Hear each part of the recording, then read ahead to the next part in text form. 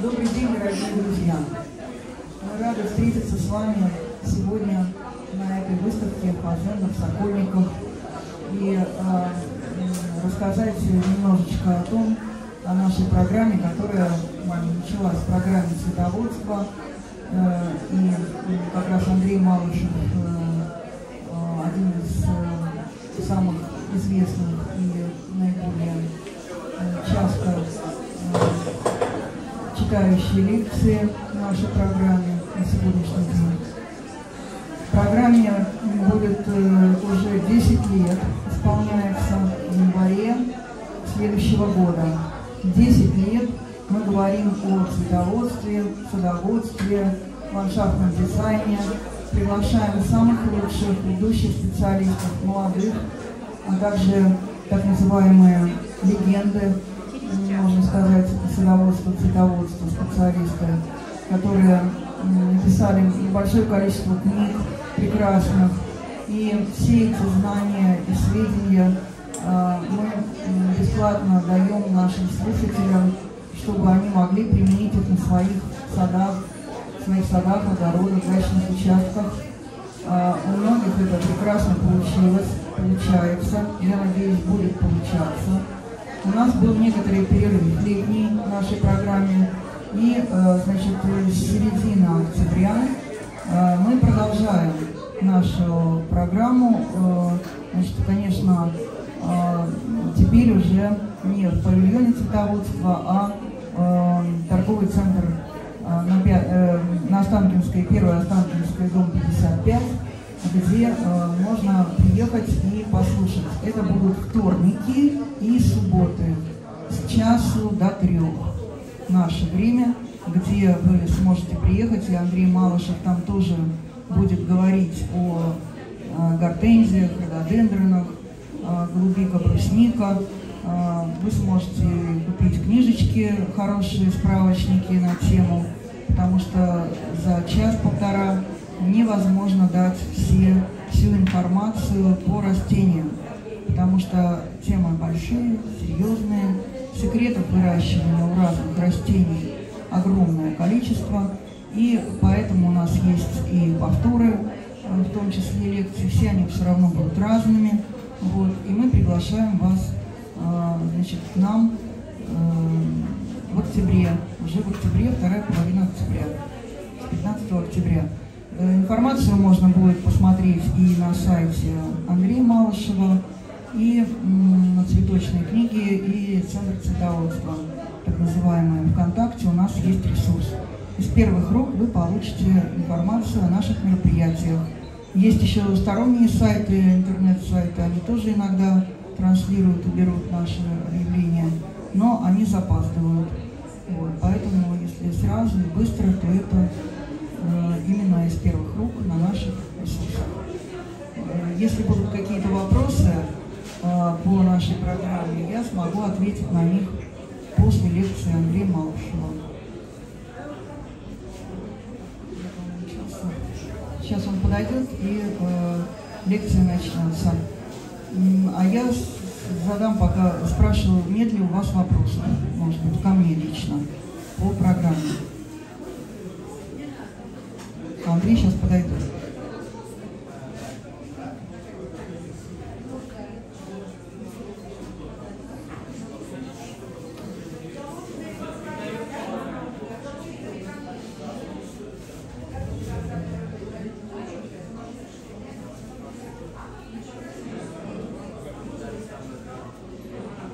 Ну, скажу, пока он идет, не знаю, идет, про наш книжный магазин, который один такой в Москве, даже, наверное, в стране. Э, лет 20-30 уже занимаемся книгами, вот, например, «Гортензия», тоже книга есть такая. Или, допустим, «Рододендрона». То есть самые ценные редкие книги можно найти в нашем магазине. Передаю слово Андрею.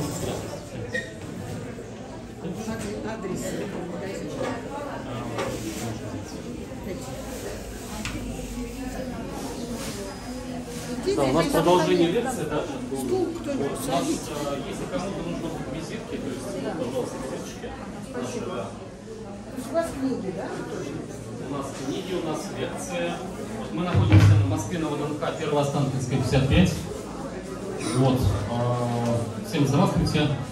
А, Зовут меня Андрей Малышев. А, Сегодня у нас лекция по гортензии. Завтра лекция тоже будет с 15.00 до 16.00. а, Садовая голубика. А, Открою секреты самых вкусных сортов гортензии. Ой, самых вкусных сортов голубики. Вот, по гортензии самое вкусное скажу про сегодня. Вы знаете, год 2023, конечно, преддверие этого года очень уникальный тем, что э, эти год, этот год э, ожидается очень много новых сортов гортензий. А, конечно, в этом году, в 2022 году, кто упустил сорта гортензии, было тоже много. А, было, были сорта гортензии от Алекса Шумахера, от Гуйдера Вейта, от э, Петра Ван Лювина, от Жана Рено. И многие увидели э, недавно э, премьеру э, сорта гортензии, буквально Татьяна Васильевна Смирнова не так давно показала сорт Металлика. Э, хочу вам сказать, это действительно фантастический сорт. Конкурентов этого сорта пока не, не будет, наверное, даже в ближайшие несколько лет. А, сорт пока визуально вы не увидите вживую, вы не поймете. А, все, что показывала на видео, это все не передает картинку даже близко. Это то же самое, как Самарскую видео увидеть в грунте в открытом. Не так давно я приезжал в гости к Вере Глуховой, к Вере Глуховой. Я снимал ролик, многие, может быть, видели, на поле я снимал. Вот, если повезет, если будет у меня время, я, конечно же, обязательно сейчас еще съезжу в Вере самолете, на самолете слетаю. Вот, потому что сейчас там Diamond Rouge окрашивался, окрасился в этом году просто фантастический такой вишневый оттенок. Э, Шикарно показал себя сейчас сорт а, Самарская Лидия, конечно, оттенок тоже очень классный показала. У меня, к сожалению, на участке в этом году Самарская Лидия уже не показала оттенка, потому что у нас было буквально, вы знаете, когда я к Вере Глуховой уезжал, э, была не так давно э, очень интересное мероприятие, это Organic Mix, если кто слышал, может быть, смотрели. Э, Был турнир по тыквам, он проходил в городе Ульяновск, э, садовый центр подсолнух, по-моему, называется, да. Э, Есть такой Андрей Ткачев, вырастил тыкву в объеме практически под 800 килограмм. Огромная тыква. Кстати, кто был на выставке в Крокусе на ВДНХ, она была вживую. Можно было посмотреть на стенде Organic Mix, эту тыкву вживую. Она реально огромного размера. Обнять ее просто было невозможно. Мы стали вчетвером, стояли там, а пытались ее обхватить, но это практически нереально даже вчетвером. То есть объем был очень большой. Но рекорд, рекордсмены, конечно же, американцы. А, как американцы? А, испанцы вырастили тыкву, по-моему, то ли испанцы, то ли итальянцы, я не буду обманывать, конечно, но а, вырастили тыкву, вот именно вот этот сорт, Atlantic, Atlantic он, по-моему, называется, а, вырастили тыкву 1 а, тонна 230. Это был рекорд мировой, тонна 230. Но учитывайте тот момент, что у них все-таки теплее, у нас холоднее, а тот Андрей, Ан- Андрей который Ткачев вырастил вот эту огромную тыкву, вот, он а, выращивал, а, знаете, страна, а, как бы, ой, страна, говорю, город, город а, Луховицы, ну, Луховицы, знаете, где огурцы, вот, страна огурцов, я так называю. Вот, он именно там вырастил вот эту громадину тыкву, просто громадину, просто шикарную громадину тыкву. Конечно, фантастический э, сорт. Э, Они, кстати, Organic Mix продают именно комплекс, э, чтобы вырастить такую тыкву. Э, В этом году был призовой фонд миллион рублей. Андрей Ткачев получил 300 тысяч на руки. Он занял первое место. Но самое интересное, мне понравился парень. Я не помню, какой город, я на ютубе, конечно, вкладывал, я брал у него интервью. Э, Мальчику 13 лет. Он вырастил тыкву а, весом 503 килограмма. Он занял третье место. Вот представляете, 13 лет. Вот такую тыкву он вырастил. Поэтому а, благодаря, замечательному проекту Or- Organic Mix я не просто как бы рекламирую. Вы знаете, я не сторонник рекламировать э, компанию удобрений, потому что сам пользуюсь на протяжении многих лет осмокотом, базокотом. Но я понимаю, что эти компании скоро, я так полагаю, вообще в Россию поставляться не будут, потому что базокот уже в Россию не поставляется. А, Продаются остатки, отходы. А Осмокот поставляется в России очень много контрафакта. То есть, что такое контрафакт? Это, э, то есть вы покупаете осмокот, а по факту это не осмокот. Это контрафакт называется. И к тому, что реально контрафакт, который не, не навредит вашему растению, но толка никакого не будет. Поэтому я выбирал компанию удобрений, которое можно было испытать. В этом году я испытал, конечно, удобрение Organic Mix. Я, на, я видеоролик, кстати, на розовое дерево выложил. У меня есть ролик, можете посмотреть. У меня самарская лидия выросла в высоту метр семьдесят. Метр семьдесят. Не метр тридцать, как у Верглупы на поле, а метр семьдесят. Московской области, Павловский посад. А, шапки были до 32 сантиметров выросли, очень большие. Но единственный нюанс был один нюанс. А, вот я, в принципе, мучился, мучился, думаю, что проблема? Шапки огромные, приросты большие, все дресня, все хорошо. Я, конечно, использовал э, препараты э, биокорень, аминорост и биотонус. Вот эти препараты я использовал. Антизиму, кстати, я буду в этом году использовать первый раз, потому что этот препарат появился буквально только-только. Вот, вот он, мне его дали с Ульяновского, вот, привезли специально для вас. Если кому интересно, можно на нашем стенде купить. Называется антизима. Зима. Антизима. Этот препарат позволяет усиливать стенки сосудов корневой системы любого растения и также структуру самих растений. И растения уходят в зимостойкость быстро. Вы знаете, это актуальная тема, кстати, не только для роз или там для растений, которые плохо зимуют. А я думаю, что это актуально для тех растений, которые сажаются в первый год посадки, ну, в первый год жизни. Те же гортензии, которые вы сейчас покупаете, или там любые растения. В любом случае, мы первый год всегда укрываем. И если все-таки растению дать такой антистрессант, именно антизима, я думаю, что это будет послужить хорошей зимовке в дальнейшем. Вот. А, при том, что все препараты, которые они выпускают на рынок, все а, происходит а, методом испытаний. Испытаний не один год, а несколько лет. А, сама компания находится в городе Ульяновск. Это мой родной город, где я родился. Я прожил там, можно сказать, 15 лет. Вот сейчас мне уже практически 40 лет. Вот, сейчас я, конечно, больше полужизни уже, ну, по сути, 25 лет проживаю в Москве, ну, в Московской области. Вот. И в этом случае хочу сказать, мои земляки, и так как все-таки я агроном, я закончил Мичгау, то есть я по специальности плода овощеводства виноградарства, семеноводства овощных культур. То есть у меня есть специализация, то есть я не просто там какой-то болтун. Э, у меня огромный опыт, опыт выращивания растений. Э, первый опыт, который мне дал, конечно же, Бабков Евгений Александрович и Михаил Яковлев. Этот опыт я получал в 2002 году. Если помните, выставка фазендов там в то время проходила на заводе имени Орджоникидзе, Ленинский проспект. Вы помните, Фазенда была одна из самых крупных выставок в Москве. Были две самые крупные выставки. Это Фазенда, конечно же. Не такие объемы, как сейчас, но намного, нам, наверное, раз, может быть, 30 даже больше, чем она сейчас. Вот. И, конечно же, вторая выставка крупная, это дача сад огород.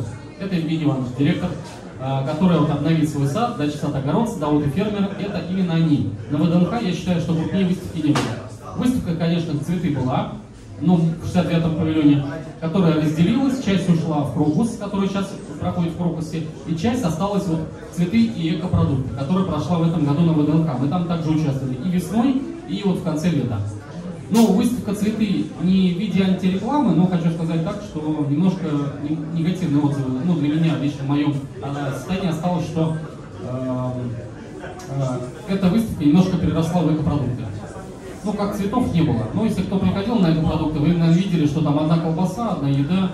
Вот вроде бы выставка «Цветы» и экопродукты, а получается экопродукты и цветы, наверное, так. То есть, если бы нам дали отдельный шатер, мы на, на маленьком шатре, наверное, бы все встали. Вот как бы так. Вера Голкова, кстати, тоже приезжала, она там была. Вот.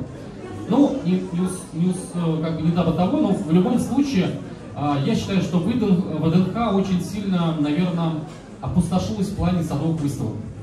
Нету вообще в целом в Москве хороших, крупных мероприятий выставок садовых. Очень мало стало. Помните, как раньше было? 69-й павильон, очереди стояли от 70-го павильона, от Москвы стояли очередь огромная, там тысячи человек стояло, чтобы попасть э, на выставку цветы. А сколько было участников со всей России, с, даже с Белоруссии, с Украины, там, с Казахстана, с Кыргызстана, откуда только не приезжали. То есть участников очень много, производители посадочного материала. Понятно, что и перекупщики, ну и лохотрон в любом случае оно было. Но это космос, там, э, ВДНХ многие помнят, что э, процентов 70 у нас было тоже называемого локотрона, как бы без этого никуда, как бы, но здесь надо быть бдительным, потому что, к примеру, там голубых лилий не бывает, ну, сами понимаете, да, там, вот, и то же самое голубых ирисов, э, опять же, там гортензия метельчатая, вьющаяся, оказывается, у нас появилась уже в селекции, видите, как интересно. А, очень интересно тоже мне, знаете, часто пишут, а есть ли у вас гортензия под названием крылья феи? Показывают мне на закате фотографию гортензии Ванилу Фрайс, и называют ее крылья феи. Это, вы знаете, столько инновационных, оказывается, продуктов у нас появляется. Я знаю, если честно, очень много селекционеров, вот Алекса Шумахера хорошо знаю, голландца, Гуйдеру Виита, э, того, э, того же селекционера, который вот, гортензии Skyfall, Фрейни, Мохито, Геркулес, Граффити. Вот сейчас Bonfire запускает он новый сорт на рынок Пикси. Э, Жан Рено, который прославился Самарской лиги, Star Rose, Жемчужный фестиваль, кстати, вывел тоже Жан Рено, Жемчужный фестиваль. Также сорт гортензии под названием такой сорт очень интересный, называется металлика. Вы знаете, Татьяна Васильевна Смирнова изначально, когда э, показала этот сорт, э, показала этот сорт, вот, она как бы интересно так э, показала особенность этого сорта. И Жан Рено это предложил создать, ну, как бы этот сорт подарить ей. И чтобы Татьяна Васильевна назвала, название дала другое. А ей так понравился сорт металлика, а, а у них, видите, как бы правило определенное. Если Жан Рено дарит, то э, ну, как бы человек должен назвать своим именем. Как вот Вера Викторовна Глухова, да? То есть подарил ей сорт фрамбуизин, да?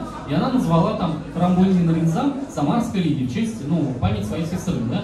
Вот в Самарской лиге все ее знают прекрасно. То же самое и здесь. Вот, к примеру, «Жемчужный фестиваль». Татьяна Васильевна также ее назвала сама. То есть это ее название назвала она в честь графини Жемчуговой, то есть Шереметьевой то есть жемчужный фестиваль. Она почему, почему жемчужный фестиваль? Потому что был фестиваль, э, Moscow Flower Show, именно презентация этого сорта, э, то есть был создан сад э, в честь графини Жемчуговой, и на этом, можно сказать, в этом саду представили новый сорт жемчужного фестиваля. Ну, многие говорят, что этот сорт многим не нравится, кому-то, у кого-то он не зацветает, но вы знаете, сколько людей, столько мнений, конечно же. Ну, если честно, жемчужный фестиваль по мне капризный немножко сорт. Вот, но есть свои особенности. Но он необыкновенный. Я считаю, что любой сорт гортензии, то, что выводит на рынок Жан Рено, а их не так много. Вот возьмите сорта. Диамантина, Diamond Rouge, ну, я просто по, по очереди, да, называю. Ванила Фрайс, ну, Ванила Фрайс, да, мировая, мировая, считай, элита. Больше миллиона экземпляров э, в год продавалось по всему миру. Кстати, в Америке она называлась не Ванила Фрайс, а Strawberry Vanilla. То есть переводилась как клубника со сливками, да? А следующий сорт, а, он же сорт испытаний производил, и у Жана Рено, когда разрабатывал сорт Ванила Фрайс, он начал ее разрабатывать, ну, по сути, я родился в это время, я родился в 83 году, а он в 84 только начал разрабатывать сорт Ванила Фрайс. Представьте себе, с 84 года, и только в 2004 году этот сорт был анонсирован не во Франции, а в Америке. Самое первое название было в Америке. И это 2004 год. В России к нам пришла в 2008 году. Но кто приходил в питомник, вот в любой питомник, вот в садовый центр, все приходили и говорили, мне нужна Ванила Фрайс. Люди просто не знали других сортов гортензии. Не брали ни Limelight, ни грандифлору, там, ни киушу, ни тардива. Брали а, Ванилу Фрайс. Потому что знали, что у моей соседки растет огромный куст шикарный, я просто с ума схожу от него, проехать мимо не могу. Потому что это просто шикарная гортензия. Да, она разваливается, она нежно-розовая, у нее огромные шапки. Ну, по сути, по факту, даже вот если сравнить там с прайс я считаю, ванилу прайс нет конкурентов, она своеобразная. Да, она разваливается, она как фонтан. Но если по структуре ее подобрать, главную подформки сделать нормально, у меня моя знакомая, можете записать себе в инстаграме сад любови. У нее ванила прайс высотой 3 метра, в диаметре около 5 шапки, ну, примерно высоту у нее по 45 сантиметров.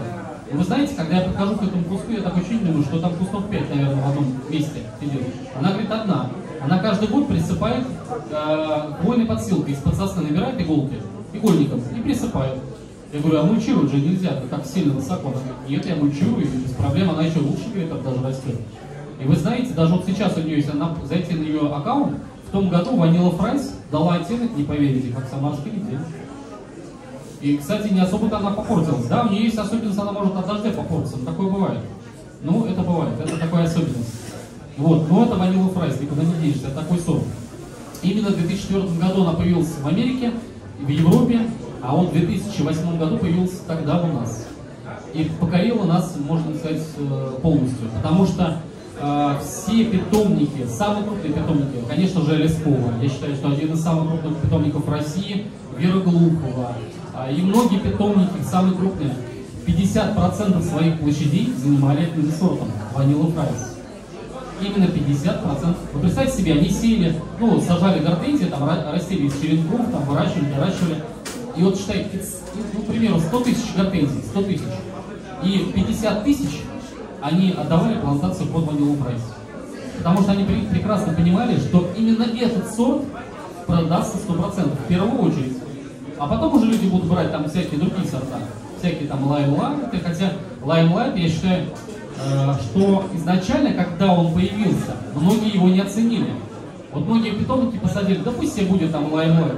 Вы знаете, я помню, где-то, по-моему, 2010 год в Голландии на выставке плантариум в Нидерландах один э, просто, ну, по сути, человек, который внес свой питомник, я не буду его называть, как его зовут, вот. но я его прекрасно тоже знаю, он не селекционер, но у него хорошее свое производство. У него 2 гектара земли в Голландии, в Нидерландах, недалеко от Баскопа. И он выращивает гортензии. Ну, наращивает. Вот. Как бы цена у него достаточно дорогая, поэтому я у него не беру. Я беру, стараюсь напрямую. Вот. Ну, плюс мы в этом году а, сами начинаем черенковать. На следующий год мы запускаем полное черенкование гортензий всех. То есть Френчи Болеро, сбежавшая невеста, вся серия «Вечное лето», все у нас будет в продаже P8, P9, по P9, P9, да, по 1500 рублей. Все. А, хотите гортензию, пожалуйста, серии древовидных, Пинканабель 2, Свит, Руби, Мауви, Бланчет, Лимет, у меня маточников много. Я все это буду черенковать. А, будем выставлять на продажу с июня месяца. То есть все, все, что стоило очень дорого, то, что по 4,5, по 7,5 тысяч, все будет по 1500 рублей. Очень будем много продавать гортензии по 500 рублей. Очень много. Все сорта Алекса Шумахера. Summer Love, Summer Snow, Strawberry Blossom, Pinky Promise, Pink and Rose, Sugar Rush, Cotton Cream, Royal Flower, Rice Milk, Pastel Green, а, я думаю, ну, самарскую лидию вряд ли мы, наверное, конечно, по этой цене поставим, но она будет цена, скорее всего, держаться в районе полутора тысяч рублей, как и Star Rose, Металлика и, возможно, другие сорта. Но металлики, так как все-таки у меня маточных немного, поэтому цена, извините, пока дорогая. То есть, если хотите заказать себе Pixie, Металлика, Bonfire и еще новый сорт, вы, может быть, не слышали, называется фисташка. Вот такой называется, фисташка, новый сорт. Уникальный сорт, я в этом, я только сегодня выложил по ней пост на YouTube-канале Розовое дерево. Можете посмотреть. Сам лично Гуйдер Вид ее показал себя на поле. Называется фисташка. Эти сорта будут в контейнерах P9, P9, возраст 2 года. А, по цене будут, будут по 2500. Металлика, Bonfire, фисташка и Pixel. Высота а, этих сортов метр 30 у всех. У всех, да. То есть у всех а, высота небольшая, да. Единственный момент, как бы, Э, по поводу металлики немножко смутное ощущение, что она, возможно, и выше будет. Я так полагаю, что это прям очень подобие такое, с такого сорта, как э, под названием Паскаль. Очень похоже, но у нее звездчатый цветок. То есть, если кто помнит, такой сорт называется Magical Starlight. Вот у нее форма такая. Только размер цветка, если не поверите, но где-то 6-8. Огромный. Огромный цветок. И самое интересное, у металлики, в чем металлика особенность? У нее зеленый нефритовый цветок такой, а сам кант прям, знаете, прям даже не, не фосфор, я называю это фосфорный белый цвет. Ну, либо, э, как правильно Сергей Александрович говорил всегда, алебастрово-белый цвет. То есть вот как трилю если знаете, трилю махровый флорополена. То есть именно вот этот оттенок, редкий очень оттенок цветка, и именно кайма. То есть она подсвечивает цветок. Потом цветок немножко начинает интенсивно еще больше зеленеть, и кайма становится лососево-красного цвета к концу цветения. Смотрится металлика исключительно. У нее примерно 80% стерильных цветов и только 20% фертильных. Очень мало. Фертильных практически нет. Но это ее особенность. Размер шапки, вот, даже посчитайте, я вот замерял недавно, буквально у Татьяны Васильевны был, 38-40 сантиметров. У нее она сидит три года. Она только себя проявила. Вы знаете, что этот год гортензии зацвели на месяц позже, поэтому этот год не показательный. И в этом случае, конечно же, Металлика, я считаю, что покажет себя во всей красе просто в необыкновенном виде. И сорт Металлика и сорт Bonfire, Bonfire, поверьте, этот сорт будет главным конкурентом. Ну, не конкурентом Самарской лиги, конечно, потому что она другая но у него будет такой же вишневый оттенок, но внутри лепестки будут неприятного зеленого цвета, как зеленое внутреннее пятно. А, как бы такого плана гортензии есть конкурент, на рынок должен выйти, называется Lime Lime Private от Тима Вуда, американского селекционера. Но э, это только конкурент, не факт, что он будет таким цветом. Вот Bonfire, это да, он красный, он яркий, он очень быстро окрашивается. Огромные шапки, вы не поверите, у меня есть фотография трехлитровый горшок. А, размер цветка, ну вот примерно мой локоть. Вот это размер цветка. Это трехлитровый горшок. Трехлитровый, не пятилитровый, не десятилитровый, трехлитровый. Это Bonfire. Поэтому я считаю, что Bonfire, если вы себе не заказали еще, заказ, заказывайте. А, что касается осени, они распроданы, оптовую розницу. А, Bonfire FX. Но если вдруг, вдруг у нас останется, вдруг какие-то оптовики перенесут свои заказы на весну, ну такое бывает. Если вдруг вам интересно, Позвоните мне где-то после 15 октября, когда придет Bonfire Pixie. И, возможно, вы сможете купить ее в этом году. Она будет в двух контейнерах P9 и C2. Цена будет 2500 и 4500. C2 это огромные растения, я реально скажу большое. Сантиметров, наверное, 40 в высоту и где-то веток 10. То есть прям мощное такое. Но это прям, если хочется такой, знаете, сразу мощный куст. Но если честно, у меня одна клиентка брала э, в свое время Skyfall, по 12 горшках. По 12 это литровый контейнер, да? Посадила в первый год жизни, у нее кусты выросли в этом а, то есть в этот же год посадки высотой сантиметров 50-60 и дали соцветия сантиметров по 25 по 30, где-то штук по, по 10, наверное. То есть, по сути, она правильно посадила кислый верховой торф, добавила удобрение правильно, хорошо поливала. Э, сидели они у нее по паутине. Я хочу сказать, за один год она просто развилась. Поэтому Гортензия, не смотрите, что вроде маленькое оно, оно растет достаточно быстро. А, не сравнивайте гортензии, которые растут в горшках. Они растут в горшках совершенно по-другому. Очень тяжело в горшках выращивать. В грунте растут гортензии в 2-3 раза быстрее. То есть посадите гортензию из P9, вот как Вера Викторовна, посмотрите, подпишитесь на ее аккаунт в Телеграме, а также в Инстаграме, ну, Инстаграм мы не выбрали, вот, ну, Телеграм-канал, а, также у нее канал, а, ну сайт есть, садовый центр Вервуха, да? Ну вот она в Телеграме часто выкидывает всякие разные ролики очень интересные. И вот она показывала в грунте, она сажала по девятку, то есть там вообще никакая, даже из мультиплат сажала. Мультиплаты это вообще, знаете, из кассет. Маленькие-маленькие, то есть это вообще череночки. И в этом году Самарская Лидия из мультиплаты даже зацвела. Дала по две веточки. Если реально, это так и есть. Я прям реально к ней приезжал на поле, и это все видел. И заметьте, что у нее земля не кислая, это Самара. У них земля чернозем, это как неждомка. И гортензия, по сути, не очень хорошо должна расти в такой почве. Но она заказывает кислый торф, замешивает своим грунтом и сажает. Ну, вообще, в целом, в принципе, гортензия растение адаптивное к любым условиям. Оно может произрастать где угодно. Хотите там в, Омском, в Омске, хотите там в Пермском крае, к примеру, где-нибудь, да, там в Забайкалье, где-то э, на юге, в Краснодаре, там в Воронеже, в Сочи, да где угодно. Но единственная особенность, чем хорошо наш климат. Вот я считаю, что очень климат хорош э, не только Самара, конечно. Самара, понятно, там, там тоже условия хорошие. Там лето жаркое, зима ледяная. Холоднее, чем у нас. У них зима минус 45 может быть. А летом плюс 45, а то и больше. Вот, у них такой резкий континентальный климат. А, но вот у нас, допустим, сами понимаете, у нас вот 10 э, сентября бах, мороз там, да, вот у меня был мороз там, нет, по-моему, когда? В начале сентября, первые заморозки были, это 1, 2, 3 сентября, у меня ребенок в школу пошел. У меня были минус 2, а потом жахнуло минус 7. И все гортензии при минус 7 начинали становиться верхушки все коричневого цвета. Можно посмотреть по прайс Мильба, вот ее ударил морозом, минус 7 было. Ну смотрите, вроде бы морозом приударил, но цветок при этом сохранился. Поэтому, если еще вдруг вы хотите э, засушить соцветие, вот вам нравится гортензия соцветия, вот если хотите засушить, понятное дело, что если мы срежем, поставим вазу, она просто завянет. А, подвесим вниз головой, как говорится, да, она, ну, немножко так будет декоративной, конечно, тоже можно использовать ее а, зимой. А вот если хочется реально получить вот этот эффект, как она сейчас есть, есть интересный способ в интернете. Можете посмотреть, засушить гортензии с манкой, с манной крупой. Да, манки надо много, конечно. Берете коробочку, ну небольшую, чтобы соцветие примерно влезло и постепенно засыпаете манной крупой. До, ну, чтобы соцветие полностью находилось именно в манке, крупе. В чем, не, в чем плюс манки? Манка в себя берет влагу. Ну, в принципе, может быть, рис, ну, рис, видите, он твердый, он больше, я думаю, что он, скорее всего, раздавит цветок. А манка, она такая структурная, и при этом она в себя впитывает влагу хорошо. она же разбухает, и за счет этого само соцветие засыхает в первозданном виде.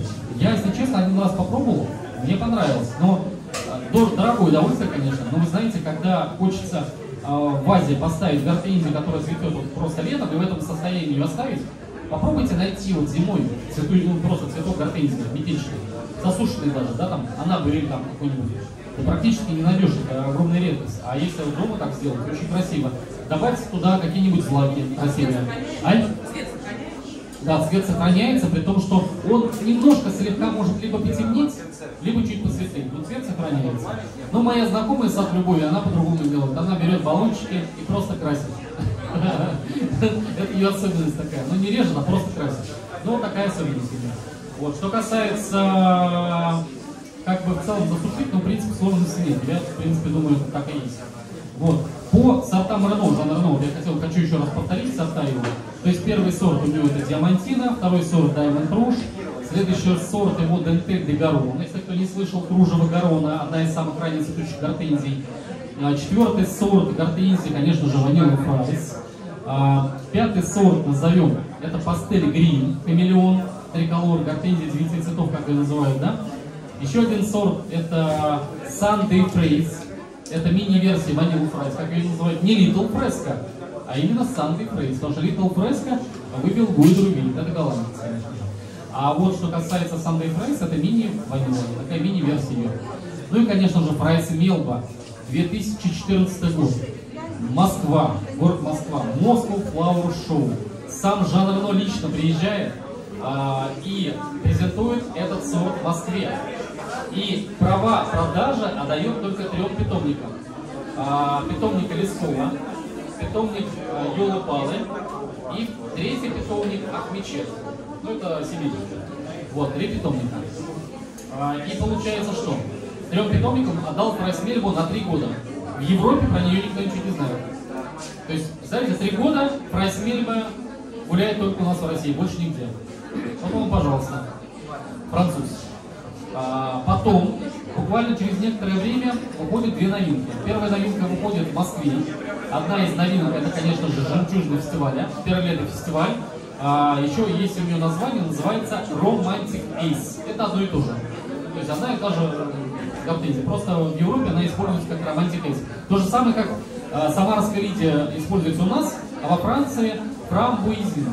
Ну, ринзан. Фрамбуизин, ринзан. Переводится как малина. То есть получается, жемчужный фестиваль, 2018 год, Москва. 2018 а, год, презентация Самарской лидии в городе Самара, в Струковском парке. Приезжает патент, а, патент, то есть приезжает а, на презентацию посол Франции, посол России, директор питомника садового центра Вера Глухова, Вера Викторовна Глухова, ну, конечно, все телеканалы, всякие разные, Россия, ОРТ, там разные, их небесные страны. Вот. Также приезжает на презентацию Эрик Рено, это сын Жана Рено, сейчас он является директором питомника. И А, еще плюс мэр города Самара, конечно же. Губернатор и мэр города, представляете, какое событие? 2018 год, Самарская Лидия. Вы знаете, больше, по-моему, я не помню, сколько Вера Викторовна говорила, но, по-моему, больше пяти тысяч кустов было высажено Самарской Лидии в Самаре, по всему городу. Представляете?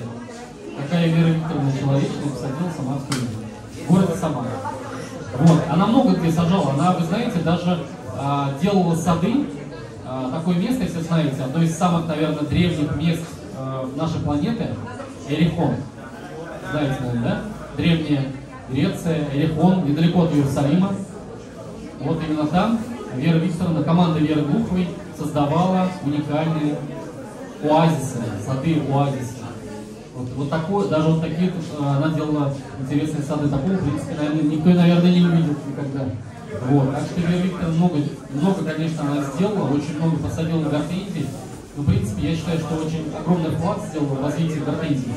И э, Татьяна Васильевна Смирнова изначально сказала, э, Вера Викторовна повезло, потому что Жан Рено подарил именно самарскую видео ей. Потому что благодаря этому сорту э, про Веру Глухову вы знали по всему миру. Реально по всему миру, поверьте. Мне люди звонят с Канады, мне звонят с Турции, мне звонят с Америки. Андрей, отправьте нам хоть черенок самарской видео, хотя бы черенок. То есть хотят именно самарскую видео, настоящую. Вот, даже Вера Викторовна говорит, ну как я вам отправлю? Не могу. Вот. Я думал, там через DHL как-нибудь отправить, но, сами понимаете, сейчас это невозможно. Вот, ну, с деком мы пользуемся, мы отправляем через дек, конечно. Вот. Ну, в целом, конечно, Самарская Лидия, вот Татьяна Васильевна говорит, что там немножко есть какие-то капризности с ее стороны и так далее. Вы знаете, у меня сейчас в саду, то есть наш питомник находится город Павловский посад. Если хотите, приезжайте. Я там на следующий день с понедельника буду, приезжайте. Вот. И я там каждый день, как бы я живу там 5 минут от, э, от участка, поэтому в любой момент можете приехать. И что там интересно? Во-первых, в Самарской лиге 12 кустов в открытом грунте, им по 7 лет где-то по возрасту. И вы знаете, я как бы в этот сорт влюблен, и сказать, что они прихотливые, это неправильно. Абсолютно неприхотливый сорт. Да, первые года, ну, есть там вредности с, этой, с ее стороны, но она капризная, да, в плане э, укоренения, там, дальнейшем развития. Но когда она укоренится, когда она возьмет свои силы, когда вы начнете активно кормить, вы знаете, она просто вам такое покажет, что, поверьте мне, что все сорта гортензий с ней даже близко не стоят. Да, есть сорта Strawberry Blossom, Pink Promise, Pink Rose, Colorful сейчас появляется. Но Самарская Лидия есть Самарская Лидия. Поверьте мне, ее цветок необычный. Ее форма необычная. И само оттенок необычный, просто колоссальный. По цвету, я считаю, просто конкурентов у нее нет. Она сама по себе, как гортензия Бубу. Вот что вы сейчас с ней сравните с Бубу? Да ничего. Little Lime, да ничего, они другие. То есть на них смотришь вот сверху, и такое ощущение, как будто взяли, срезали ветки и вставили просто в землю. Просто букет цветов. Вот это и есть эти сорта. Помимо того, что Самарская Лидия в 2018 году Жан Рено показал на рынке жемчужный фестиваль, потом появляется сорт гортензия, называется Star Rose, розовая звезда, крылья победы, как ее называют. Жан Рено ее, э, по сути, хотел презентовать, но не получилось, пандемия, соспина, коронавирус. И назвал он ее э, как бы в преддверии Великой Отечественной войны, 75-летия, юбилея называется Star Rose, розовая звезда. Тоже, опять же, приурочена нашей, нашим, можно сказать, нашим войскам, нашим, нашей войне Великой Отечественной, вот это, именно 75-летие. Поэтому я считаю, что Рено очень много делал э, для России, много давал направлений. Сейчас, конечно, на рынок уходит еще сорт Металлика. Это тоже новый сорт Жана Рено. Один из последних. Новинка 2022 года и 2023 года. Почему 2023 он назвал? Потому что в 2022 году Татьяна Васильевна, когда ее показала всем, никому не хотела показывать, но показала. Она показала Виталику и дала только двум питомникам продажу. Город Барнаул и город Омск. Вы знаете, эти гортензии разошлись буквально за, ну, за день не узнали, наверное, и где-то за два дня смели все, просто все, все, что было. Люди готовы забирать были все. Далеко было, да, вести, конечно, да, они там порой даже отправлять не хотели. Я с трудом себе 10 штук взял. С трудом. Вот. Ну, Виталика, благо, у меня есть, поэтому буду в этом году размножать. Кстати, кому интересно, посмотрите зимние ролики на розовое дерево. Ко мне приедет Борис Борисов с Барнаула, Алтайский край. Мы с ним будем чередковать на а, препарат Ретигрин. Ретигрин, если кто не знает, корневин, индолеуксная кислота. Новый препарат а, корневин ультра, корневин гель и инновационные препараты Биокори от компании Organic Mix. И также новые препараты они, они мне дают в этом году просто в разработке, но еще и на продаже не выступает, называется Биокорин гель. То есть мы будем испытывать. Вот фитолампами, э, как называется фирма, ну вот Анакинина, кстати, вот, если кто знает Анакинина, вот она эти лампы продает, компания Зема продает эти лампы, и Фитолэб, по-моему, называется, компания Фитолэб, если не ошибаюсь, 7, э, магазин 7 цветов они продают. Вот мы будем использовать именно эти лампы. Ну, не, не имеет значения каких производителей, потому что это одна и та же лампа. Вот, поэтому в этом году зимой будем черенковать French Bolero, Металлику, Bonfire, Pixie. Ну, все, что у меня есть, к сожалению, из того, что эксклюзивное. А так, в принципе, мы вот вечно летом черенковали. У нас вся серия 5 сортов, пожалуйста. Если вас интересует серия Dark Angel, у нас вся серия уже расчеренкована. У нас очень много новинок. На следующий год новых сортов будет порядка 80. 80 новых сортов. Кому интересно, запрашивайте прайс-лист, я вам отправлю. С 1 декабря мы запускаем интернет-магазин питомник-гортензии.рф, название пока оставляем. В дальнейшем питомник-гортензии.рф закрывается сайт, розовое-дерево.рф сайт закрывается. Будет, скорее всего, какое-то короткое название. На год мы оставляем, а так название будет немножко другое. Скорее всего, будет сокращенное название, чтобы вам удобнее было использовать. Но интернет-магазин очень удобно. Органик микс, удобрение, вся линейка там будет по их цене. Гортензии будут, конечно же, рододендроны будут, лубика будет и много чего будет. Все это заказывается через интернет-магазин, забираете либо у нас на ВДНХ на Первоостанкинской 55, либо доставка с ДЭК Почта России будет, пожалуйста. По всей России везде будем отправлять, конечно же, без проблем. По книжкам здесь Наташа, кстати, рассказала, книжка по гортензиям, вот она показала, да, там, э, очень интересно, посмотрите. Также, вы знаете, мой, можно сказать, э, замечательный человек э, Воронина, вот, про Додендрон книжка шикарная. Кстати, я считаю, что аналог э, э Александрова, Степана Александровой, она сейчас в ботаническом саду уже Цицина не работает, ей уже много лет, но если кто-то помнит, аристократы сада и много-много книжек она про Додендрон написала. Кстати, самый первый человек, который рододендрона посадил вместе с Александром Вайспанной на ВДНХ, это Рихард Кондратович, он недавно умер, это Прибал. А, город, город Бабичи, недалеко от Юрмалы. Огромный ботанический сад рододендрона. Под, сос, под, знаете, в сосновом бару больше 380 гибридных сортов собрано со всего мира. Зимостойкие, неукрывные. То есть там рододендроны высотой даже по 6 метров есть. Но, к сожалению, в Прибалтику сейчас поехать не можем. Вот. Шикарная книжка Татьяна Васильевна Курлович. Клюква, брусника, голубика. Лучше книги не найдете. Вы знаете, самый высочайший, я считаю, опыт. А, сильнее селекция, то есть сильнее человека науки голубики, я считаю, не знает никто. Она сама из Москвы, она закончила институт в Москве, но она уехала обратно себе в Беларусь на родину и сейчас возглавляет НИИ Беларуси. Это в городе Минске, под Минском. Поэтому Татьяна Курлович написала шикарную книгу по голубике. Посмотрите, все сорта голубики здесь есть. Но она вам не расскажет те сорта, которые самые вкусные. Я завтра расскажу. Их всего два. Сейчас не буду говорить, проходили. А, лекция немножко завершается, конечно, потому что времени у нас остается немножко, совсем буквально 15 минут до 4 часов. А, первое хочется сказать, показать сейчас а, метод обрезки гортензий кому интересно. Ну и, конечно же, черенкование гортензии, потому что если кто-то не использовал, а, не пробовал черенковать гортензию, а, ничего, в принципе, сложного нету, но все-таки надо показать. А, многие спрашивают, когда лучше черенковать гортензию. Первый метод обрезки черенкования, конечно же, это весна. То есть, когда мы нарезаем, то есть весной формируем кусты, то есть это март месяц, либо начало апреля, середина апреля, когда мы обрезаем все слабые ветки, укорачиваем растения, и вот эти ветки, которые мы не выкидываем, а из них делаем черенки. Мы сажаем и выращиваем молодые растения. Ну, для примера, вот можно посмотреть, Самарская Рите, вот она, перед вами по 9 контейнеров. Это, правда, черенки не первого года, а второго года уже. Но, в принципе, вот такого, такого плана не есть. Сначала э, черенки сажаются мультиплаты. То есть мультиплаты это маленькие такие секции небольшие, маленькие, то есть, допустим, кассета 40 на 60 берется, в них где-то больше 100, по-моему, 130 ячеек, небольшой объем, и в нее втыкаются, укореняются черенки. А, в основном, конечно, если в промышленных масштабах используется, конечно же, теплицы, обязательно система тумана, туманного орошения, стопроцентная влажность, и регулируется температура воздуха, то есть за счет того, чтобы корневая система образовалась быстрее. Но вы знаете, так как все-таки много современных препаратов, поверьте мне, вот на препарате биокорень, сейчас пользуется листова, сейчас пользуется вергулка, биокорень, я укоренял гортензии, корни образуются буквально за 10 дней. Ровно 10 дней корневин ультра дает корни. Шикарный препарат. Его можно купить на Валбересе, он есть. В Озоне он есть. Прям называется корневин ультра.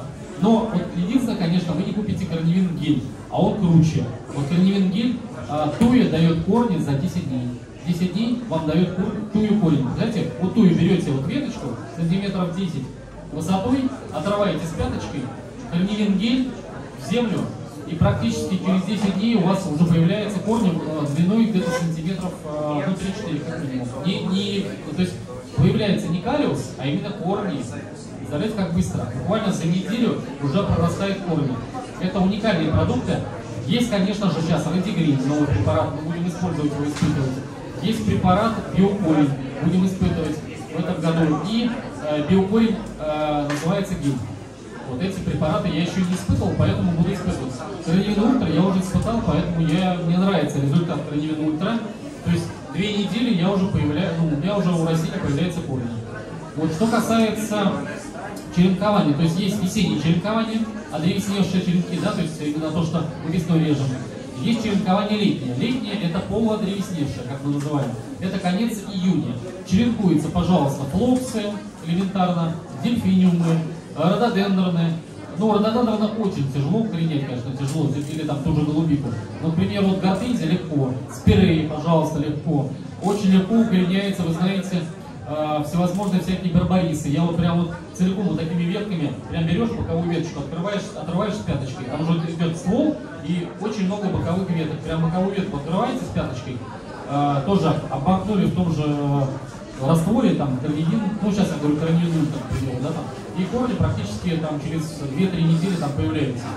Вот. Но даже обычный корневин или обычный гетероксид тоже дает неплохие результаты. И стоит он, сами знаете сколько, ну 3 копейки стоит. Вот, поэтому это недорогие препараты, э, и сложности особо нет. Создать влажность. Как создать влажность? Да элементарно, просто сверху баночку накрыли, вот, сверху. А я даже, знаете, как делаю, иногда рекомендую. Берете обычную 5-литровую канистру, снизу проделываете отверстие, выжигаете отверстие, насыпаете немножко керамзита, песок с торфом смешиваете, немножко граперлита можно добавить, чтобы земля такая была более рыхлая, воздушная. Туда прям втыкаете черенки, ну там гортензии, там что хотите. 5-литровой а, баклажки а, отрезаете сантиметров 15 сверху, прям разрезаете, ну чтобы вам черенки протыкать. Потом обратно эту крышку как бы ставите и скотчем по кругу закрываете, ну, заматываете. То есть, ну, обратно ее собираете, да, и у вас получается полная стопроцентная влажность, потому что она же запечатанная будет. А потом, когда нужно проветрить или опрыснуть какими-нибудь биостимуляторами, епином, там, цирконом, аминоростом, био, биотонсом и так далее, то есть любыми препаратами, да, или там тем же артбистоидин, если хотите. Вот. Просто крышечку раз отвернули, туда опрыскатель раз, там тем же земы сейчас, это аккумуляторный мне нравится, зема очень удобно. Раз, опрыснули, закрыли крышку, все, у вас влажность. Ну и примерно там, э, я делаю это каждый день, конечно, стараюсь это делать, потому что влажность э, нужна. И они укореняются очень быстро. Потом берете, смотрите уже через прозрачный, там же прозрачный, как бы, э, пластик он прозрачный, вы видите, уже корни пошли. И потом берете и пикируете, стаканчик. Можно из-под йогурта стаканчики, либо возьмите 500-литровые стаканчики маленькие, одноразовые. Прям раз туда отверстие прошли. Э, грунт, самое главное, создавайте грунт максимально рыхлый. То есть песок, агроперлит и торф. Это будет вообще шикарно. Потому что чем больше будет воздуха в корнях, тем они будут лучше развиваться. Очень важно, чтобы грунт был не только влажный, то есть питательный, да, а лучше всего, конечно, кислый торф использовать, если есть возможность. Купите, вот если нет возможности купить, допустим, агробалтовский торф, вот эти брикеты большие, они дешево стоят, получается, да, кислый агробалт зеленый. Но возьмите, сейчас есть, э, по-моему, такие маленькие торфяные брикеты, продают сейчас везде. Называется биомастер, если не ошибаюсь, по-моему, биомастер, да, называется, прессованные. Только берите кислый не, не для томатов, а именно вот кислый берите. То есть и его прям размачиваете, там как написано, то есть брикет кидаете, водой заливаете и там в ведре там он принимается. Очень удобно, он чистый, он очень питательный, хороший. Туда добавляете немножко агроперлита, немножко, если есть песок, но нет, то нет, значит не добавляете. Вот. Удобрение для черенкования ни в коем случае. Никакого удобрения не вздумайте. Иначе вы провоцируете черенок расти. А вам надо, чтобы корневая система развивалась. Поэтому никаких подкормок. Удобрения будете вносить тогда, когда у вас укоренится, когда пойдут небольшие почки просыпаться, приросты. Вот тогда, когда вы корни уже увидите, тогда уже вносить удобрения. То есть можно вот органик микс или гортензии использовать, к примеру. Хотите использовать осмокот, хотите использовать другие препараты, но э, осмокот, я говорю, с рынка уйдет, поэтому лучше переходить на наши. При том, что э, компания Organic Mix, я не буду ее абы рекламировать, потому что компания Organic Mix является в этом году генеральным спонсором выставки «Цветы в Крокусе». Они вошли э, в команду Сколково. Вот, это современная компания. И на сегодняшний день э, компания Organic Mix это натуральный продукт. То есть никакой химии настоящая. Да, у них есть органоминеральные удобрения, но в основном все натуральное. Э, почему вот есть вот Александр Сидельников, если знаете, слышали, может быть, Александра Сидельников, который вывел там малину в сады России, Васема там, да, там у него много своих, он изобретатель, он писатель, много чего, в принципе, знает он испытывал органик микс для томатов, на томатах дома. То есть и там вот этот ликопин, то есть вот этот красный цвет, знаете, да, увеличился в томате в 4 раза. 4 раза. Представляете? Во-первых, ликопин, если знаете, это, Это настоящий антиоксидант для нашего организма, которого так не хватает вообще в томатах. То, что мы сейчас едим, это, ну, сами понимаете, что мы едим. Поэтому, когда мы дома выращиваем томаты, и вот если используете органик микс, вы можете сами заверить и поймете, что такое томаты.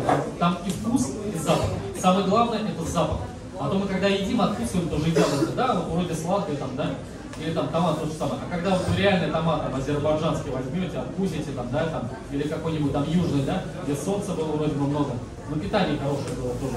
Вот, и там, понимаем, запах расходится просто по всей там, кухне. Вот это, вот это я понимаю, это настоящий продукт, когда есть не просто вкус, а есть еще и запах, аромат. То есть вот это натуральность. А представьте, что происходит сейчас у нас на полях вообще в целом. Все химия, все кормится химией. Вот все, вот я закончил Мичгау, есть такой город Лебедянь, где происходит саки, ой, саки, говорю, соки, любимый, добрый, так, ну, не знаю, добрый, там, не там, ну, просто говорю, соки. Я посмотрел, когда, знаете, там огромные вот эти кубы стоят, тон, тонны, вот эти химии настоящие, вот просто раз, разводят, бодяжат эти соки. Что мы там пьем, опять же, это все не натурально, в любом случае. Поэтому э, я считаю, что в любом случае надо выращивать не только цветы, надо выращивать продукты, которые мы будем поедать. Это и смородину, и голубику, и клубнику, и яблоки. Вот многие в свое время в Советском Союзе было очень хорошо это направлено. Кстати, вот и Мичурин пусть там испортил там много сортов, тоже Антоновку там он испортил. Но вы знаете, тогда, в то время, сколько было направлений именно по садоводству. То есть именно это была сильная страна. И в этом случае у каждого был там 6 соток земли, извините меня, и у каждого был и яблони, и вишни, и там абрикосы там у кого-то были, у кого-то кто-то там картошку выращивали, смородины всегда там было много, малины, клубники. А сейчас модно. Гортензии посадил, розы посадил и газон. Ну, я замечательно. А то порой и газоны ходят, и больше ничего не надо. Но по факту, да, мы приедем в азбуку вкуса, возьмем там яблоки вкусные. Но понимаете, сегодня азбука вкуса может быть и вкусная, но не факт, что там натурально. Поэтому всегда самый натуральный продукт с нашей гряды. Поймите, это надо учесть. И в этом случае не надо отказываться от ягодных культур. Надо их поддерживать. В этом случае у нас очень много лекций, которые будут проходить на Первоостанкинской 55. У меня новые темы. Это, конечно же, одна тема моя известная, это малина. Вот. Э, также вторая тема, я в этом году э, новую тему беру, это клубнику.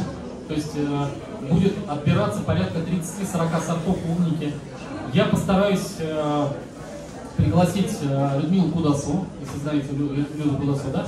Вот, она специалист по клубнике. Хорошая, кстати, она в поиске сейчас работает. Вот, и мы будем отбирать сорта, очень интересные, поэтому и все это будем наглядно показывать. Вот, потому что клубника тоже направление хорошее. Ну и вообще, в целом, в принципе, будем стараться искать людей, которые занимаются определенным направлением. То есть по винограду, я считаю, лекцию, да? То есть есть специалисты по винограду. Вот у нас э, с э, тоже специалисты есть. Может быть, тоже приедут, прочитают. Там специалист Органик Микс у нас прочитает лекцию, расскажет про удобрение. Замечательный Тиминур, который расскажет, из чего состоит удобрение Органик Микс. Я думаю, что там какие-то там 3-4 компонента, а там, если честно, я сам удивился, 80 компонентов. То есть там не только, там морские водоросли, прям живые водоросли морские, там, э, там овечий шерсть, там еще что-нибудь. Это все ферменты, там пух, перо, это все натурально. То есть почему называется органик микс? То есть органическое натуральное удобрение. Поэтому, ну, действительно, это классная вещь. Вы знаете, я не просто так поставил здесь вот вверху удобрение органик микс. Это вот органик микс кислот, биологический закислитель, не только для гортензии, но и для голубики. Вот если вы мучаетесь закислить хотите удобрение, вот берите кислот.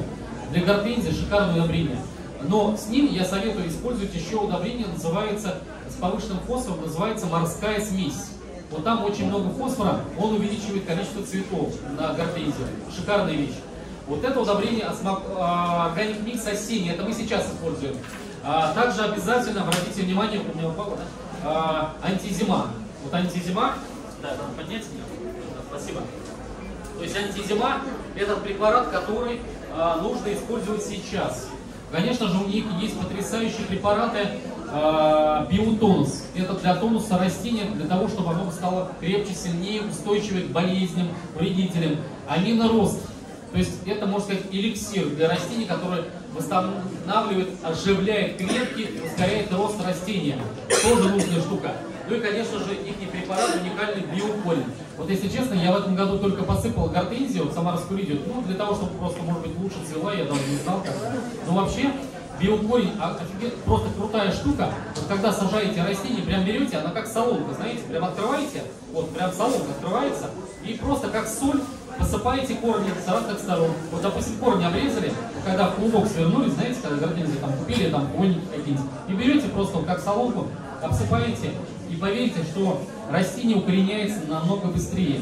Обязательно в этот, в этот случай замочите в воде, добавьте э, вот этот препарат биотонус, он тонизирует растение, укрепляет э, вообще все сосуды, э, укореняет растение тоже совместно с биокорнем. Ну и плюс аминорост, который позволяет уже адаптировать растение к местности к вашей. Ну и антизиму и призиму, конечно. Давайте сейчас время уже у нас заканчивается, время 4 часа. Сейчас я покажу, как э, черенковать гортензию. Проведем небольшую викторину. Я думаю, немножко с 5 минутной задержкой. Я надеюсь, позволит. Да? Хорошо. Вот. А, микрофон пусть у меня вдалеке. Вот. Я сейчас поставлю гортензию. А, вот сейчас у меня в руках а, гортензия называется Брайт Мелба. Я думаю, что сорт многим известен. Я просто не просто как бы показываю, я еще буду задавать вопросы, а это вопросы за подарок. Что такое черенковать гортензию? Многие знают, что э, гортензия можно не только черенковать, но и нужно еще правильно обрезать. Как правильно обрезать гортензию? Когда это лучше сделать?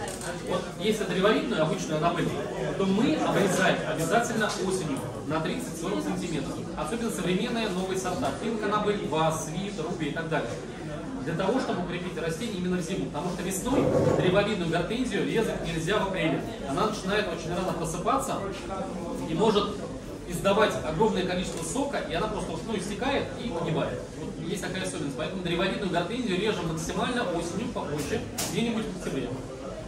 Прям покороче. Когда вы хвосты обрезаете, осильбы, вот именно в этот момент, когда вы начинаете участок убирать, вот в этот момент режьте гортензию древовидную. Витечная гортензия. Мы ни в коем случае стараемся, да, можно, конечно, взять, просто взять вот соцветие, к примеру, да, и обрезать соцветие осенью, вот таким образом, раз, и обрезали соцветие. Вот оно соцветие у меня в руках, да. Вот она ветка, которая у нас идет, пойдет уже на следующий год. А весной я уже буду ее укорачивать, формировать. Есть вариант такой, что что гортензию можно обрезать осенью. Да, это возможно. Можно сделать осенью. Допустим, весной приезжаете вы в мае месяце. Вот, ну, поздно приезжаете, вы весной не можете обрезать. Обрезайте, обрезайте, как правило, осенью. Пусть это будет поздняя осень. Укорачивайте там на, допустим, не на две пары почек, ну, чуть-чуть повыше. Там, почки на 3-4 обрежете. А потом весной, в крайнем случае, чуть-чуть подрежете, да? И в этом случае она перезимует лучше, потому что если сильно коротко обрежем, мы можем спровоцировать, если будет осень теплая, она может повторно проснуться. То есть проснутся почки, она начнет расти. А тут морозы и сами понимаете, что происходит. То есть растение страдает. В этом случае, чтобы такого не было, коробку обрезку, конечно, осенью я не, э, не сторонник делать, поэтому мы никогда этого не делаем. Вот Вера Глупка, кстати, рассказывает, что э, не надо обрезать осенью, потому что через вот эту вот рану может зайти какая-то инфекция.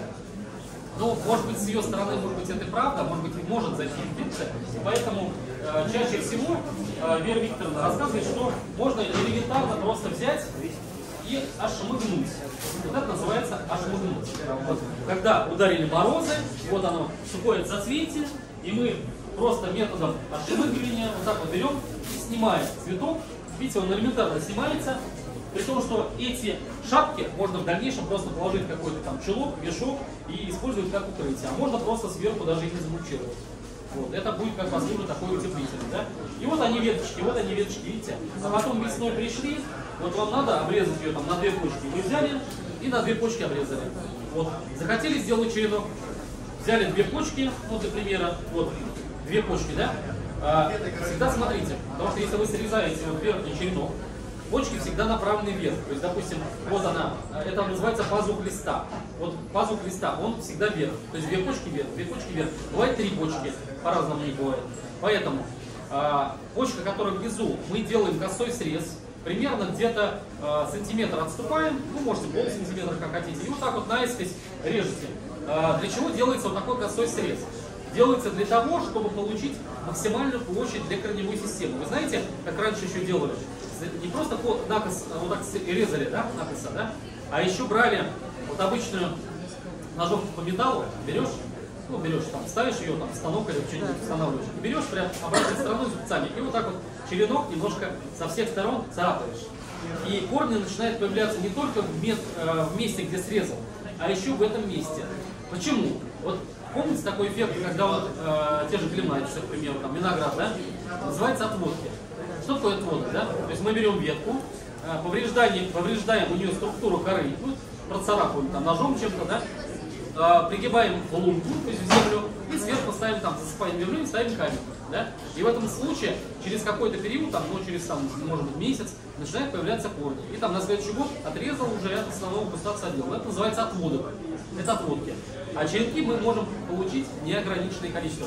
Сколько у нас есть, расти невозможно сделать черенков, столько мы и сделаем. Поэтому есть такая интересная процедура, но питомники этого не особо, даже они знают это, но это не используют.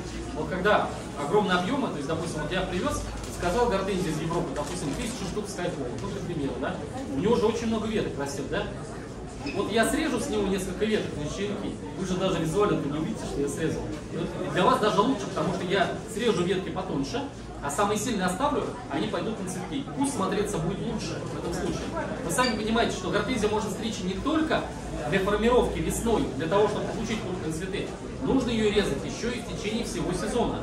То есть она у вас растет, вы ее обрезали, и в течение всего сезона начинают расти ветки. Но много же веток послабее, потоньше, они дают меньше соцветия. А зачем они нужны? Если вот эта ветка да, даст крупные, шикарные шапки, зачем нужна рядом ветка, которая даст слабые ветки? Вы берете просто ее летом, там, в мае, в июне, в июле, хоть в августе, отрезаете, и все. И используйте на полуодревесневшие черенки. Вот это называется полуодревесневший черенок. То есть, допустим, вот она ветка, что такое полуодревесневший черенок? То есть, вроде бы вот здесь вот древесина, уже толстая, а здесь, если обратить внимание, еще красная древесина. И в этом случае здесь полуодревесневший черенок. Что такое полуодревесневший? Вот мы срезали на две почки. Вот, на две почки показываем. Вот, допустим, да? Что мы делаем дальше? Мы два листа убираем, вот так вот раз, отсекли два листа, потому что они нам не нужны. Дальше помните, да, то есть на косой срез, косой срез делаем обязательно. Вот так вот раз, косой срез сделали. Все, видите, срез, у нас получилась почка. Сверху у нас два листа. А, но если видите, что листья нормальные, как бы не сильно большие, можете оставить. Ну, я обычно всегда пополам их отрезаю, для того, чтобы они э, каким-то образом потом, когда они намыкали, не, не загнивали. И в этом случае они в таком состоянии остаются, эти листья. Хотите, можете вот эту верхушку, ну, если не нравится, возьмите ее подрежьте. То есть вы подрезали, и вот смотрите, вот получился настоящий полноценный черенок гортензии фрейсмилма. Вот, обмакнули в корневине, гидроуксиния, э, вот эту буквально на почку, почку опускаете в землю, под грунт, то есть примерно вот так засыпаем грунт, вот как я в пальце держу, вот все. Вот она почва. Потом, что происходит? А, когда начинает происходить укоренение, то есть когда корни здесь идут, у вас начинают просыпаться вот эти две почки, просыпаются, верхние почки. А многие не любят, когда на ноге формируется укоренение черенка. То есть и поэтому многие делают черенки не в два, не в две почки, а в одну. То есть обрезая вот здесь и делают на одной почке, потому что нижние почки тоже просыпаются. То есть можно так делать хотите, укореняйте на одну почку. Но я стараюсь всегда укоренять на две, потому что возможности укорениться растению, конечно же, выше. Вот кому если интересно, пожалуйста, берите растение. Черенок попробуйте укорените. Это полноценный черенок. Это полудревесневший, да. А, а, смотрите, 3, 4, 5 почек вы можете использовать, но при этом а, сама ветка укореняется тяжелее до нее укорениться тяжелее. Сам оптимально две почки, сам оптимально. Но в основном питомники, сами питомники используют одну почку. То есть когда просто, ну, на одну я вам тоже покажу. То есть вот одна почка, например, так, ну давайте я вытяну, так. а вот так, к примеру, да, вот, вот здесь две почки. А мне нужна одна почка. То есть я вот эту раз брал, здесь наискось обрезал, вот у меня одна почка, да, вот вроде черенок такой коротенький получается, маленький, листья немножко побольше убираем, и вот, смотрите, вот она, одна почка. То есть мы ее в землю опускаем. И вот, если видим, что лист прям сильно нагинается, я даже раньше брал вот такой проволочкой подвязывал немножко стволу. И листики у нас торчат. И по сути, через те же две недели у вас просыпается корневая система, начинает расти сначала два отростка. Вы можете посмотреть у меня на стенде, есть вот полный бир, однолетка. Вот там два прироста. И вот эти листья, кстати, там сохранились. Они прям это видно даже. Вот. Это полноценное растение, которое первый год у вас укоренится, на следующий год оно вам даст цветок. Но поверьте, что гортензия, многие спрашивают, вот она там надо ждать 3-4 года, когда она цветет. Это полная глупость. Гортензия при черенковании может цвести даже в два посадки. Все в зависимости от а, какую почку вы возьмете. Если максимально повыше цветку, скорее всего она в этот год цветет. Но цвести лучше не давайте, лучше обрезать. На второй год, конечно же, можете дать цвести, много не давайте, оставьте там одну, две, три ветки, не больше. А, как формировать изначально куст? Если обратите внимание, снизу, вот снизу, самому низу, здесь куст сформирован. Раз, два, три, четыре ветки. Все. А уже на четырех ветках формируется дальше уже крона. Бывает формируется на двух ветках, бывает формируется на одной ветке. Но одна ветка это штамп называется, да? Бывает формируется и даже до 10 до 11 веток. Но это в зависимости от запущенности куста. Вот у прайс-мельбы есть интересная особенность. Этот сорт, он слабо, э, сорт со слабым боковым ветвлением. Это его характерная особенность. Вот это огромный, конечно же, плюс. И в этом случае, как правильно все-таки обрезать? Вот мы осенью, допустим, либо нашемыгнули, либо вот просто взяли, обрезали соцветия, чтобы все-таки это у нас, э, ну, у нас пришли морозы, и в этом случае, ну, вот это ладно, оставим кому-нибудь, я подарю, вот эту шапку я оставлю. Вот. И в этом случае вот пришла весна, мы пришли к кусту, куст весь лысый, без листвы, думаем, как ее обрезать. Обрезать очень легко, ничего сложного здесь нет. Самый первый я смотрю тонкий слабый ветки. В этом случае я всегда смотрю. А, Где-то я обрезаю там на две почки. Но если я вижу, что разветвление слабое, я бывает, что вот так вот просто обрезаю. То есть я режу, сначала убираю все тонкое, слабое, неровное. То есть вот прям неровное смотрю максимально слабые. И потом начинаю уже укорачивать почки там до двух почек. То есть не сверху считаю почки, а именно откуда росла ветка. То есть, допустим, ну считаю там раз, две почки, допустим, раз обрезал, раз обрезал. Ну здесь я вот эту не буду обрезать, все-таки раз. Вот. И вот смотрите, вроде кажется, там так беспощадно обрезать, вот жалко, знаете, всегда всем жалко. Не жалейте, режьте, не жалейте, потому что, смотрите, а, помимо того, что вот эта ветка, вот она тоже слабенькая, она послабее, чем эти, мы тоже ее уберем. Бывает, вот соприкасаются ветки друг с другом, мы их убираем. Пусть у вас и веток будет меньше, даже хотите, вы можете и эту убрать, короче. То есть у вас формируется такая вроде лысинка, да, то есть вроде немного коряги от нее остаются. Но вы учитываете тот момент, что в течение сезона вот этот ствол, только один ствол, он может дать порядка 50 веток. 50 веток. А даже вот сантиметровый прирост от земли в гортензии, это порядка э, 20 спящих почек. А мы не считаем еще почки, которые еще под землей формируются. Они же тоже есть. Если вы обращали внимание, от, кор, от корня тоже бывает ветка пошла сильно. Это тоже есть. И в этом случае э, я это просто даю как бы это просто подарок, поэтому я оставил. Вот. И в этом случае вот формировка происходит так. То есть вот так вот мы обрезали, и вот так вот мы сформировали. Я думаю, ну, есть какие-то вопросы у кого-то? Задавайте. Сложность есть какая-то в обрезке? Да. А? Черенки, если мы нарезаем, я уже объяснил, если мы черенкуем гортензии, то есть обрезаем весной, то мы весной можем делать уже черенки. Это начинается март, апрель месяц. Ну, это тепло, то есть это дома только под фитолампу. Ну, куда мы еще денем?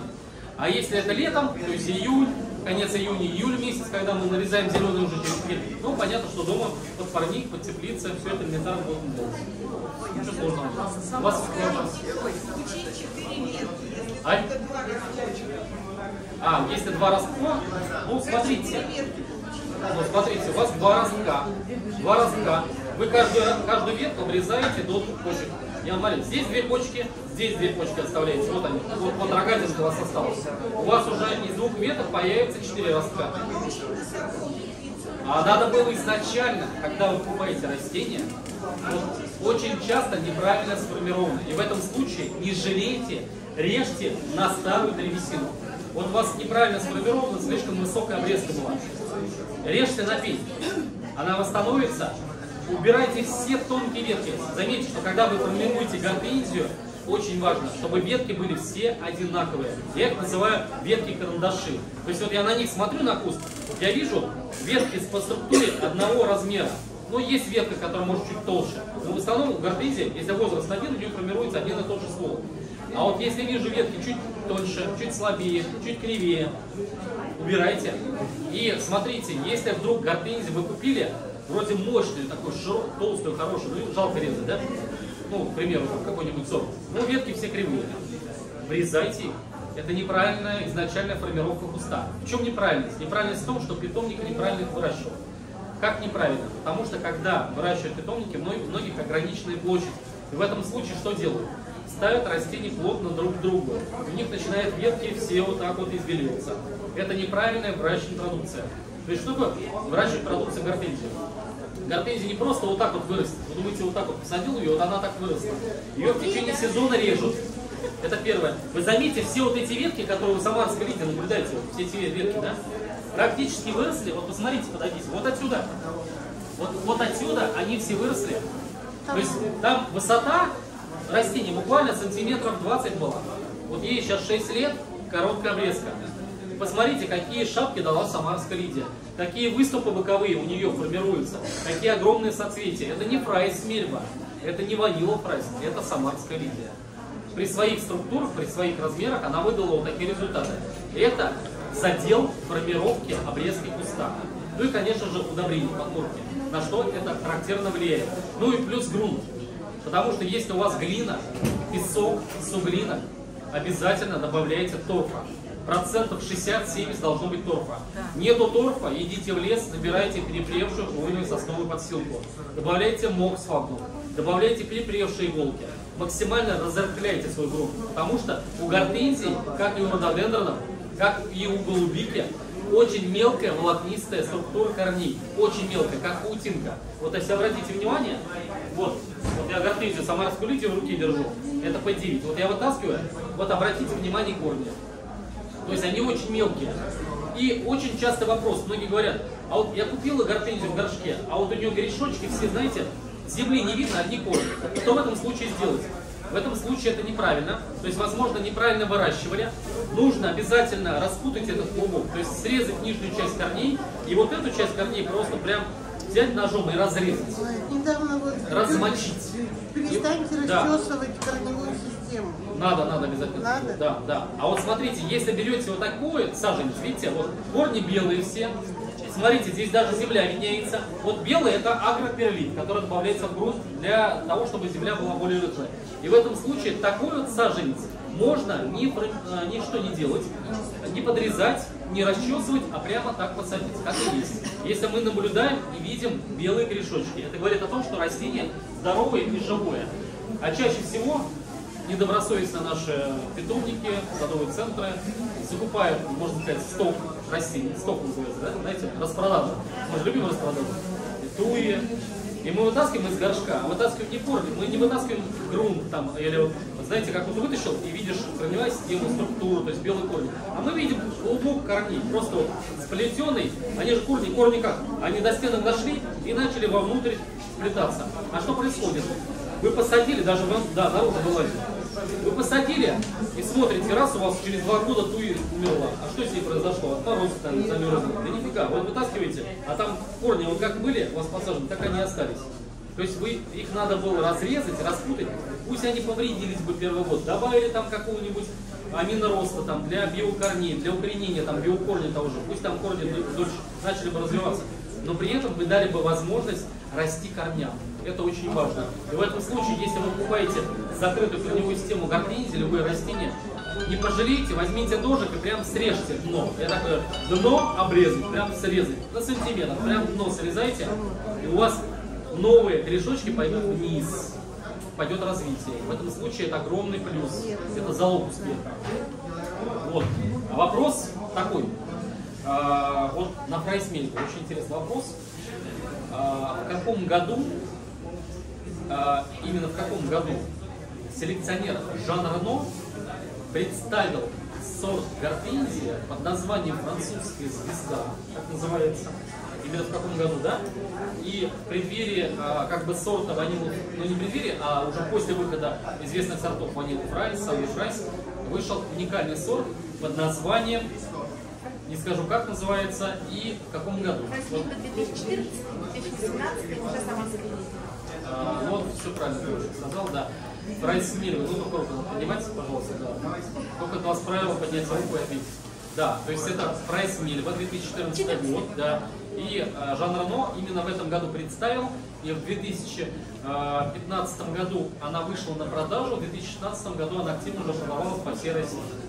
А И сколько лет а, было дано питомникам, трем питомникам? Три года, три года три для года, да? России. А каким питомникам, скажете? Юну Палы, потом Лескова Ага. и Пи- Пич точно. Ах, Мичел. Сложное название, как будто китайское. Прайс Мильва ваша. Спасибо. Поздравляем. А, Девушки, мы получаем, конечно же, а, каталог наш карты и визиточку нашу. А, Также, также, также, также каталог новый от Organic Mix, продукция Organic Mix, который можно будет приобрести. Вот, мы тоже вручаем. Пожалуйста. Так, ну конечно же, картинку Прайс Мильва. Так, у нас будет как бы три основных вопроса, там три комплекта подарков. Вот, это вот Прайс Мильва, она подписана. Так, ну и, конечно же, наши каталоги. Все он затворил. Поздравляем вас с выигрышем. Вот, пожалуйста, Мильва ваша. А, нет, мы только раз. Да, нас людям тоже чтобы интересно было. Так, а, второй интересный вопрос. А, не так давно, не так давно, а, компания Organic Mix анонсирует препарат. А, я уже назвал.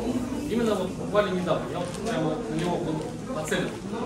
А, какие четыре основных препарата использует Organic Mix вот, вот в таких вот баночках? А, вот если кто-то, может быть, запомнил, сфотографировал, один из них, я скажу, что это биоколь. Второй препарат. Анти... Нет, ну давайте кто-то руку поднимет и вот попробует ответить. Да? Ну давайте, антизима, хорошо. Третий. Их всего четыре. Как, что у нас еще может быть? Нет, нет, нет, у нас надо по руке. Кто там готов, все ответит. Какие четыре препарата? Вот, есть, есть как бы каталог. Вот, если хотите, я могу даже его потом дать, конечно. Вот, а, вы, да? Давайте обратно убираем. Давайте называйте. А, потом идет вот, антизима, да? Дальше. Нет, терминин ультра это нет такого препарата. Нет, нет, это не то. Убираем главное. Именно органик микс. Четыре препарата. Препарата, которые идут вот в таких вот баночках. Первый препарат я уже сразу поставил, называется биокурий. Второй антизима, уже называли. Еще два препарата. Даже, можно скажу, скажу подсказку. Один тонус и второй еще. Попробуйте вспомнить. Никто не сможет ответить, да? Но название хотя бы скажете. Тонус я уже назвал. Просто название чуть-чуть впереди. В начале. Да? Биотонус. Девушка назвала, да, уже био- биотонус. Вот три мы уже открыли препараты. Так, попробуйте назвать четвертый препарат. Что-то иммуностимулятор. Да. А, связано с ростом. Да? Аминорост, да, но как бы немножко, конечно, правильно, да. Иммуностимулятор, да. В этом случае, конечно, я, наверное, все-таки в этот раз я обычно так не делаю, но я все-таки поделю на два презента. Девушка была э, впереди вас, и плюс вы, девушка. Э, я вам сделаю такие два подарка. То есть э, э, препараты аминорост, биотонус, антизима и препарат есть четыре препарата, да? Это достается вам. То есть это вы избираете, это ваш подарок. Пожалуйста, подходите. Вот, вы. Вы получили возможность получить эти препараты. Вот, держите. Вот. э, Собираете сразу каталог. Андрей, а каталоги все одинаковые вот эти? Да, да, да, Так, также, также наш, да, и, по-моему, а, и наш вот есть. Получайте, вот это вам. Спасибо за викторине. Так, и второй девушке, вы не думайте, что вам плохой подарок. Ваш подарок. Осень, удобрение для гортензий и потрясающий кислот. Стоимость такого подарка не поэтому я надеюсь, что вам понравится. Это для осени, это для весны и кислот, биологический кислот, который безопасно считает кислот. Спасибо вам. Так, а каталоги я сейчас каталог дам обязательно, чтобы он у вас был. Так, каталог, это новый, кстати, отдельно Вот, и наши обязательно тоже возьмите, все есть. Вот. И последний вопрос, наверное, пожалуй, последний вопрос, который мне хочется задать, потому что подарок у меня остался один, и Наташа вот как раз, наверное, нас решит уже. Э, да. Да, ну про книжки я скажу, я уже сказал, да, потому что именно у нас есть книжка по гортензии. Подходите, смотрите, выбирайте, потому что уникальные книжки, вот, которая, в принципе, по гортензии очень интересная. Автор здесь у нас вот. А, ну, к примеру, вот эта книжка стоит 1950 рублей, называется «Бомбура». Бомба, да, любимая всеми гортензия, очень уникальная. Смотрите, какая толстая, смотрите, насколько регистрированная. Потому что многие книжки, да, где даже, смотрю, принцесса Диана есть. И много-много гортензий, смотрите, пожалуйста, здесь просто вон Винстеры, принцесса Диана, куча-куча гортензий. Это, кстати, нигде нет. Так, вот это, наверное, потрясающе. По голубике завтрашняя тема. То есть учитывайте, вот эта книжка у меня таких три дома лежит. Дома, на даче и не только даче. Вот. А, также все хвойные растения Марковский. Шикарная, кстати, книжка. Шикарная книга у меня тоже есть. Вот, этой книги у меня нету. Как создать эко-огород. Я думаю, интересный тоже продукт. И еще одна книжка называется «Библия плодового сада». Ну, про что я и говорил. Именно про плодовый сад. Вот. И есть еще один последний вопрос. Последний вопрос. Кто мне сможет назвать э, все сорта гортензий, ну, можно не поочередно, а просто коллекции сортов, именно от селекционера Жана Рано. Первая рука была, давайте называйте. Диамантина, Diamond Rouge, Дентель Дегарон, Ванила Грейс, Мостель Грин, Сандей Грейс, Мельба, Жемчужина Бельгия, Самарская Лидия, и Браво! Вот вы знаете, я, если честно, хочу сказать, что первый раз прямо четко ответили и сказали, какие сорта гортензий вывел Жан. Знаете, насколько я люблю этого селекционера, уважаю. Вот. И человек практически каждый сорт гортензии берешь, каждый сорт отличается и листва, и цветы, и форма. Вот возьмите сорта Алекса Шумахера, возьмите там другого селекционера, все равно сходство есть у многих сортов. У Рено нету. То есть у него каждый сорт, он резко и четко отличается друг от друга. Поэтому девушке достается, ну, конечно же, самарская Лидия, двухлетка, двухлетка ваша. Вот, ваша самарская Лидия, каталог, а, также каталог Mix. А, Приходите к нам на лекцию обязательно завтра. 15.00 до 16.00. Завтра голубика. Завтра разыгрывается голубика в 10-литровом горшке. Большая. На следующий год будет уже ягода. Разыгрывается удобрение Organic Mix для голубики. Комплект именно для голубики. Вот именно сегодня только для голубики. Ну и, конечно же, некоторые секреты я не раскрою. Вот так что ждем вас завтра. 15.00 до 16.00 я здесь. Вот Наташа у нас также придет. Книжечки подходим, выбираем, не уходим, смотрим. Вот секаторы вот мне Саката, мне понравился, кстати, Оникс. Я вот Оникс взял, вот смотрите, делал через именно их секатор. Ну, в виде рекламы. Вот, так что, кому интересно. И вот здесь, вот, если кому нужны веточки, брать либо можете взять. Вот, можете воспользоваться секатором. Да. Ильич, спасибо огромное. Так, не снесите, пожалуйста, мою камеру. Вы мне скажите, пожалуйста, одну вещь. Можно вас спросить? Аккуратнее, Видно было, аккуратнее. да? Да, да, аккуратнее, аккуратнее. Андрей.